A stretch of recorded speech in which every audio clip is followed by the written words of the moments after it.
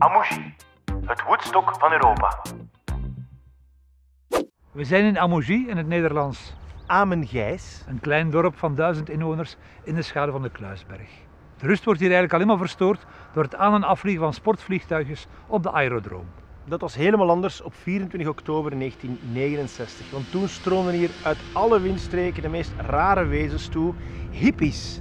Met duizenden tegelijk stonden ze hier, want hier vond toen het Pop and Jazz Festival plaats.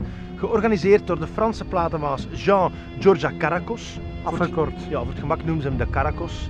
En het idee kwam van de muziekjournalist Jean-Noël Cogge. Het festival zou aanvankelijk plaatsvinden in Parijs als eerste grote rockfestival in Frankrijk. Maar daar was het niet welkom in de nadagen van mei 68. Er komt een verbod van het ministerie van Binnenlandse Zaken. Dus moet er verhuisd worden. Het eerste alternatief is de Belgische stad Doornik. Il y a le conseil municipal, les gens sont oh, formidables, etc. L'armée dit on a une plaine de manœuvre, vous pouvez en bénéficier. Et le lendemain, le journal titre 100 000 hippies à tourner. Alors là, les gens se disent ah, on va violer nos filles, on va voler nos voitures, on va casser les vitrines. Les gens prennent peur. Et donc, il y a une interdiction du bourgmestre qui était absent à cette réunion et qui lui vient à Guillaume, surtout pas, surtout pas ça. Dan maar naar Kortrijk. Maar ook dat lukt niet. Het festival landt uiteindelijk in het kleine Amougy in de provincie Henegouwen. Er is maar één week meer over om alles op te bouwen. Burgemeester André Kallebout is vol verwachting. Ik denk het 10, 15, 16, 20.000 personen hier op, eh, op twee dagen tijd. Terwijl dat moet toch eten, drinken en, en slapen. En, eh, wat? Dat, dat verbruikt toch veel, hè? Dat, is, dat is bijna een stad. Hè? Het festival duurt vijf dagen en is een onuitgegeven huwelijk van jazz, progressieve rock en hedendaags klassiek. Een combinatie die later nooit meer is vertoond. Alles mocht, alles kon, verbeelding aan de macht. Woodstock lag nog vers in het. En 69, en trois mois, il y a eu Woodstock, White, Amougy, sans qu'aucun des trois ne soit en relation. C'est-à-dire que ces trois mouvements sont nés d'un même phénomène qui était un besoin que la jeunesse avait d'exprimer, de se retrouver ensemble dans un lieu gigantesque pour arriver à écouter les groupes qu'elle aimait. Et ça s'est fait, ces trois jours de paix et d'amour, comme on, avait, comme on a rigolé à l'époque, bah, ça, ça a vraiment existé. De popkant wordt georganiseerd door Cogge en daar spelen vernieuwers zoals Ten Years After, Pink Floyd, Yes, Captain Beefheart, Soft Machine, allemaal voor hun internationale doorbraak. En de grote jazznamen die er spelen zijn Archie Shepp, Don Cherry en de Art Ensemble of Chicago. Heel straf is dat alle artiesten komen opdagen. Frank Zappa, de goeroe van de Amerikaanse underground, wordt als presentator gevraagd. Zappa dit Ok, je viens.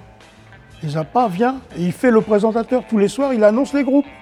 Et comme il est guitariste et qu'il y a son copain Biffart, on se dit il va faire le bœuf avec Biffart. Ah non, non, non, non, il fait le bœuf avec Biffart, oui, quand Biffart se produit. Mais il fait le bœuf avec Pink Floyd, avec Pretty Things. Il va la veille au Théâtre 140, il fait la bœuf avec Ten Years After. Il fait le bœuf avec tout le monde, avec Archie Shepp, avec le free jazz, avec tout le monde. Plaats van het gebeuren is een reuzentent met een oppervlakte van 5000 vierkante meter. Er kunnen 15.000 mensen in. Ondanks het herfstweer en de gedurfde affiche zit ze vijf dagen op rij afgeladen vol. Het feest gaat onafgebroken door. Heel wat festivalgangers overnachten in de tent. Voor de inwoners van het kleine Amougy is het gebeuren een ongekend avontuur. Dat moeten ze van dichtbij zien. De lokale middenstand doet gouden zaken. Oui, les premiers jours, on venait de, de chez nous autres avec le camion, livrer les bières, le pisse, les limonades, ces semelles, de l'eau aussi, mais pas tellement. Alors, vu que ça prenait de l'extension, on téléphonait à la brasserie et la brasserie venait directement avec le camion déverser ici. Et nous, le soir, on travaillait ici. Pourquoi? C'était pour ramasser les bouteilles de bière. Et on faisait ça vers 5 heures jusqu'à 8 heures au soir. Et le matin aussi. On ramassait les bouteilles de bière, les hippies dormaient. Et nous, nous ramassons les bouteilles de bière entre les, les hippies qui dormaient. Avec des brouettes. Het langharig werkschuwtuig gedraagt zich voorbeeldig. Alles verloopt vlekloos in Amougy. Op 28 oktober verdwijnt de UFO met die wereldvreemde aliens even snel als hij was gekomen.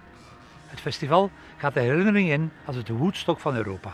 En toch komt er geen tweede editie. Ondanks de massale opkomst blijft de organisator Jean-Georges Caracos met een financiële kater achter. Want heel veel hippies hebben niet betaald en zijn onder het tentzeil doorgekropen. Maar in 1989 passeert Jean-Georges Caracos wel langs de kassa Want als platenbaas scoort hij dan zijn enige pophit met De Lambada van Kaoma. Buiten wat uh, foto's en wat uh, bootlegalbums is er niks bewaard gebleven van die periode. Er staat hier geen standbeeld, er is geen herdenkingsplakkaat. Er zijn wel twee films, maar die zijn door Pink Floyd uit omloop gehaald wegens een rechte kwestie.